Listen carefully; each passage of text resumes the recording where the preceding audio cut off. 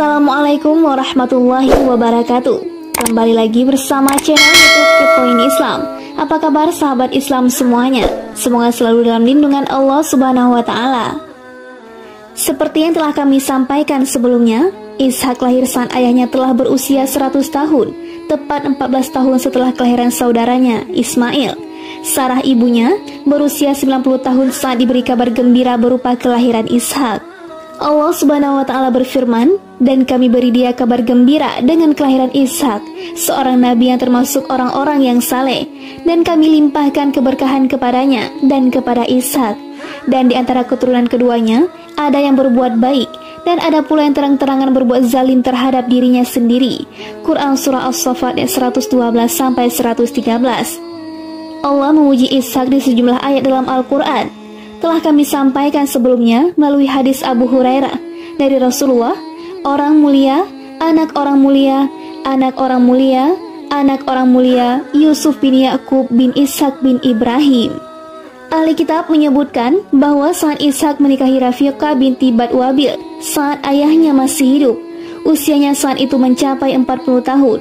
Rafiqah mandul, lalu Ishak berdoa kepada Allah untuknya ia kemudian hamil, lalu melahirkan dua anak kembar. Anaknya yang pertama bernama Ais, yang oleh orang Arab disebut Ais, nenek moyang bangsa Romawi. Dan yang kedua bernama Yakub, disebut Yakub atau yang kalau diterjemahkan berarti belakangan, karena ia lahir setelah saudaranya. Dia inilah Israel, asal usul nasab Bani Israel. Ahli kitab menyatakan, Ishak lebih mencintai Ais daripada Yakub, karena Ais adalah anak pertama. Ibunya, Rafika lebih mencintai Yakub karena ia anak bungsu. Mereka juga menuturkan, saat Ishak tua dan pandangannya lemah, ia menginginkan sebuah makanan, lalu menyuruh anaknya Ais pergi berburu hewan untuk kemudian dimasak, lalu ia doakan keberkahannya. Ais memang gemar berburu. Ais pun pergi berburu. Setelah itu, ibunya, Rafika menyuruh anaknya Yakub untuk menyembelih dua domba terbaik miliknya dan membuatkan makanan seperti yang diinginkan ayahnya. Yakub datang kepada ayahnya sebelum kakaknya agar ia mendapat doa berkah ayahnya. Ibunya mengenakan pakaian milik kakaknya padanya. Kedua lengan dan lehernya dibalut ibunya dengan kedua kulit domba tersebut karena Ais memiliki bulu yang lebat, sementara Yakub tidak. Saat Yakub datang dan menyuguhkan makanan itu, ayahnya bertanya, "Kamu siapa?" "Aku anakmu," jawab Yakub.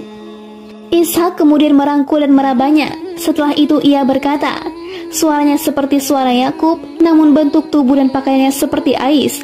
Setelah memakan makanan yang diberikan Yakub, Ishak mendoakan semoga anaknya yang ia kira Ais padahal Yakub itu menjadi anak yang paling mulia, paling besar, dan juga keturunan-keturunannya nanti, serta semoga rezeki dan anaknya banyak. Setelah Yakub keluar, kakaknya Ais datang dengan membawa makanan seperti yang diperintahkan ayahnya dan menyuguhkan makanan itu padanya. Ishak bertanya, "Apa ini wahai anakku?" Ais menjawab, "Ini makanan yang ayah inginkan." Ishak berkata, "Bukankah tadi kau sudah datang membawa makanan itu? Sebagian sudah aku makan, lalu aku berdoa untukmu." Ais menjawab, "Tidak, demi Allah." Ais sadar kalau ia sudah didahului adiknya, hingga ia merasa sedih sekali terhadap adiknya itu. Ahli kitab menyebutkan, Ais berjanji akan membunuh Yakub setelah ayah mereka berdua meninggal dunia. Ais meminta ayahnya untuk berdoa lagi untuknya, agar anak keturunannya nanti menjadi orang-orang kuat di dunia, rezeki, dan buah-buahan mereka berlimpah. Saat ibunya mendengar ancaman disampaikan Ais pada adiknya, ia menyuruh Yakub agar pergi ke tempat saudaranya, Laban, di Haran, dan menetap di sana hingga amarah kakaknya mereda, serta menikah dengan salah satu putri saudaranya itu. Ibu Yakub kemudian berkata pada suaminya, Ishak, agar menyuruh Yakub ke Haran, menyampaikan wasiat dan berdoa untuknya. Yakub menyanggupi permintaan istrinya itu.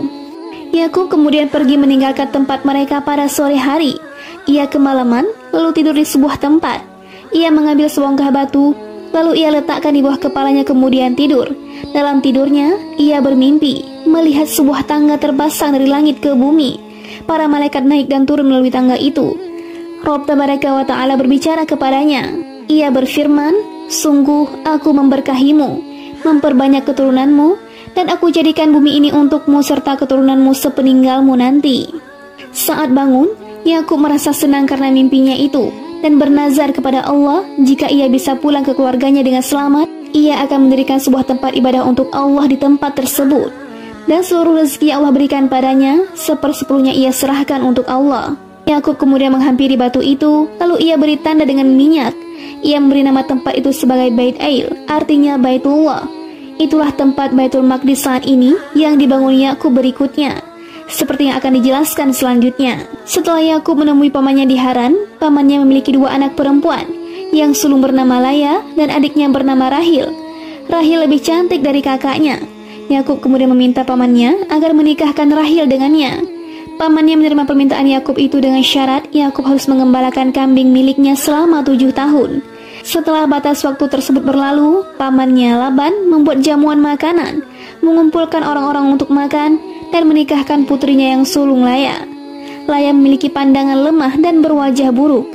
Pada pagi harinya, ternyata yang dinikahi Yakub adalah Laya. Yakub kemudian berkata pada pamannya, "Apa kau mengkhianatiku?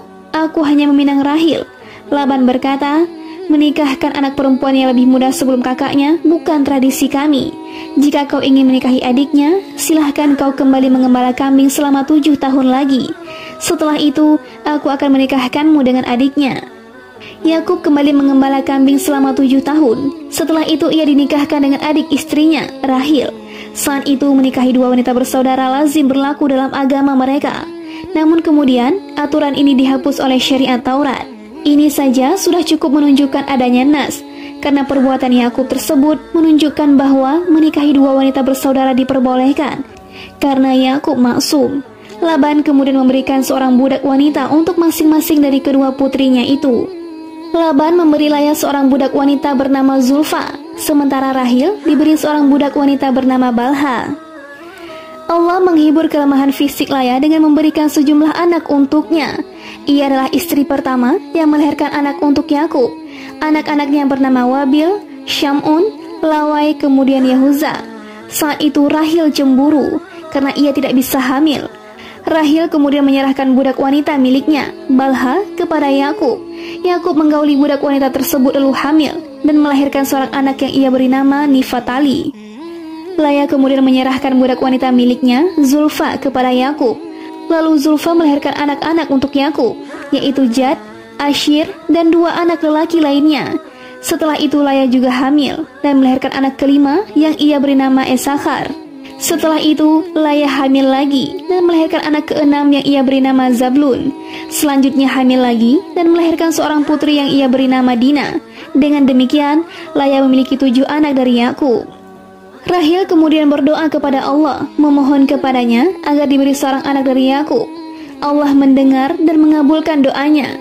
Rahil akhirnya mengandung anak dari Yakub, lalu melahirkan seorang anak lelaki agung, mulia, dan tampan yang ia beri nama Yusuf.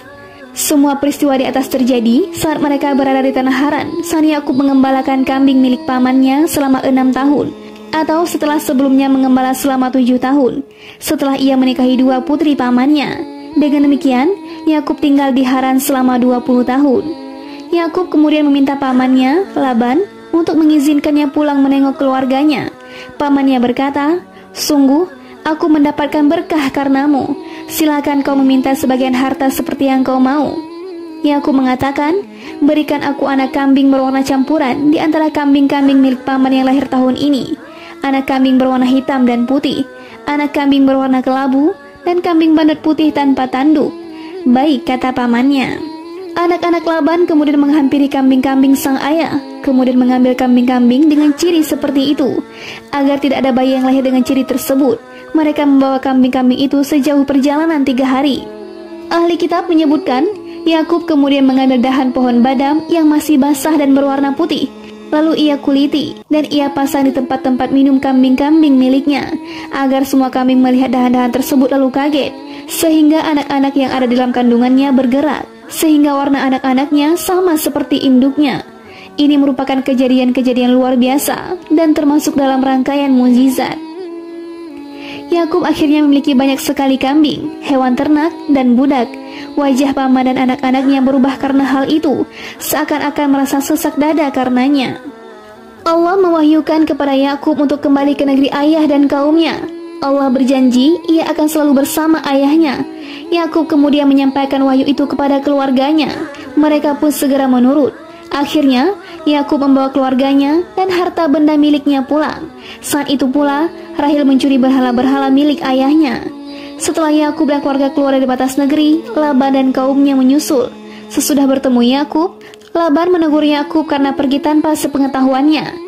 Kenapa tidak memberitahu terlebih dahulu agar Yakub dan keluarga diantar dengan meriah, penuh taburan bunga dan tabuhan gendang, agar Laban bisa melepas kepergian kedua putri dan cucu-cucunya. Laban juga menanyakan kenapa mereka juga membawa berhala-berhala miliknya. Yakub tidak tahu menahu tentang berhala itu. Yakub memungkiri jika dikatakan telah mengambil berhala-berhala milik pamannya itu. Akhirnya Laban masuk ke tempat anak-anaknya dan budak-budak mereka untuk menggeledah, tapi tak menemukan apa pun. Rahil memang menyembunyikan berhala-berhala tersebut di bawah pelana unta yang ia duduki. Ia tidak mau berdiri dan beralasan sedang haid, sehingga Laban tidak menemukan berhala-berhala itu. Saat itu, Laban dan Yakub membuat kesepakatan di sebuah tempat bernama Jalan. Yakub disyaratkan untuk tidak memperlakukan putri-putrinya secara hina, tidak boleh menikah lagi, dan tidak boleh melangkah lebih jauh menuju negeri lain, baik bagi Laban sendiri ataupun Yakub. Yakub diharuskan membuat jamuan makanan untuk dimakan secara bersama-sama, kemudian satu sama lain saling berpisah dan kembali ke negeri masing-masing. Setelah Yakub berada di dekat tanah Seir, para malaikat menyambut kedatangannya. Yakub kemudian mengirim baju selimut untuk kakaknya, Ais. Namun baju itu dikembalikan kepada Yakub, sekaligus diberitahu bahwa kakaknya, Ais, pergi menghampirinya bersama 400 prajurit. Yakub takut mendengar berita itu, kemudian berdoa kepada Allah, memohon sepenuh hati dan merendahkan diri kepadanya. Memohon agar janji yang ia sampaikan segera ia tunaikan, juga memohon agar menangkal keburukan kakaknya. Yakub telah mempersiapkan hadiah besar untuk kakaknya berupa 200 ekor kambing, 20 kambing bandot, 200 biri-biri betina, 20 domba, 30 kambing yang kantong susunya terisi penuh, 40 sapi, 20 kerbau, dan 10 keledai. Yakub menyuruh budak-budak miliknya untuk mengiring setiap hewan-hewan tersebut secara terpisah dan setiap rombongan di jarak tertentu. Saat mereka bertemu Ais, dan Ais bertanya, "Kamu budak milik siapa?" Dan milik siapa hewan-hewan yang kau bawa ini? Hendaklah dijawab, milik budakmu Yakub. Tuanku menghadiahkan hewan-hewan ternak ini untuk Ais. Budak berikutnya harus mengatakan seperti itu juga. Seperti itu juga budak berikutnya dan seterusnya. Mereka semua mengatakan, ia akan datang setelah kami. Yakub terlambat jauh di belakang bersama dua istri, dua budak wanita, dan kesebelas anaknya sejauh perjalanan dua malam. Yakub berjalan pada malam hari dan bersembunyi pada siang hari. Pada waktu fajar malam kedua, seorang malaikat dalam wujud seorang lelaki muncul di hadapan Yakub. Yakub mengira bahwa ia adalah orang biasa. Ia lalu menghampirinya untuk diajak bergulat dan ia kalahkan. Kelihatannya Yakub berhasil mengalahkannya. Hanya saja, si malaikat tersebut jatuh, menimpa bagian atas pantat Yakub hingga Yakub pincang. Setelah fajar terang, si malaikat bertanya padanya, "Siapa namamu?" Yakub, jawab Yakub. Malaikat itu kemudian mengatakan, setelah hari ini, kau tidak patut dipanggil dengan nama siapa pun selain Israel. Yakub kemudian bertanya kepadanya, "Kamu sendiri siapa? Siapa namamu?"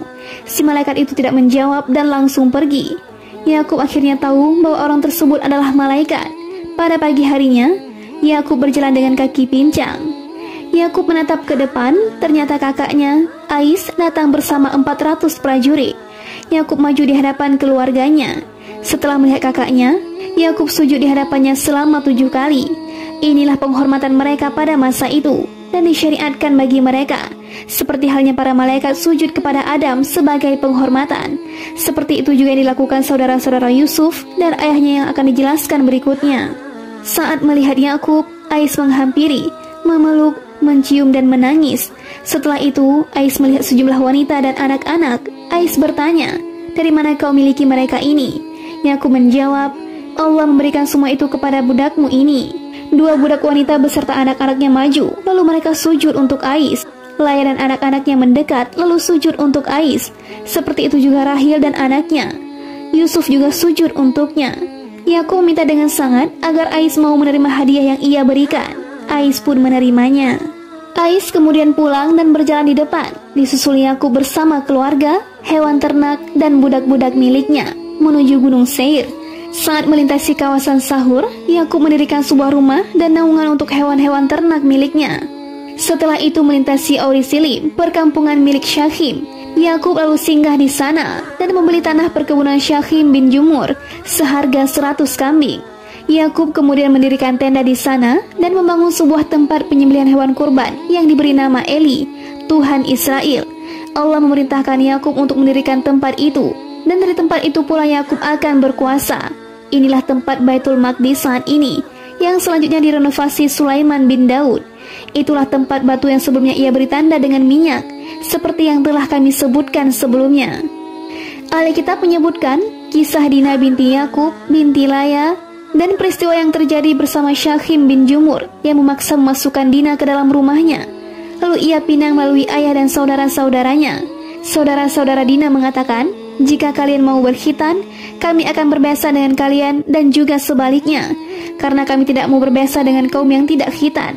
Mereka menerima permintaan itu, lalu mereka semua berkhitan. Pada hari ketiga, rasa sakit yang mereka rasakan akibat khitan kian parah. Anak-anak Yakub lalu menyerang dan membunuh mereka semua. Mereka membunuh Syahim dan ayahnya Jumur karena tindakan buruk yang mereka lakukan. Di samping mereka juga kafir dan menyembah berhala. Karena itulah, anak-anak Yakub membunuh mereka dan mengambil harta benda mereka sebagai rampasan perang. Rahil kemudian mengandung dan melahirkan seorang anak bernama Bunyamin. Hanya saja, Rahil kesulitan saat melahirkannya, hingga meninggal dunia setelah si janin lahir. Yakub mengubur Rahil di Afrats, makam Rahil yang ada hingga saat ini. Yakub memiliki 12 anak, mereka semua lelaki. Anak-anak dari Laya adalah Robil, Syamun, Lawai, Yahuza, Isakhir, dan Zabalun. Anak-anak dari Rahil adalah Yusuf dan Bunyamin.